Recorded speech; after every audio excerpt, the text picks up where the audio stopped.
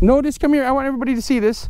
Notice that I have his hand, his stick hand, locked underneath my elbow. No, no, no, come turn around. Stop moving, fool.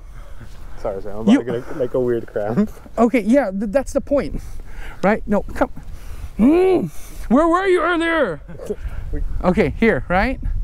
When I I have this locked in, notice that both my forearm is locked into his forearm, but then my puño is locked into his his outside his left arm. Then so from here, I grab from up here and pull. Okay. So let's let's look at his face facial expression again. Well, one, two, all right. So there, there's the pain there. All I have to do is squeeze.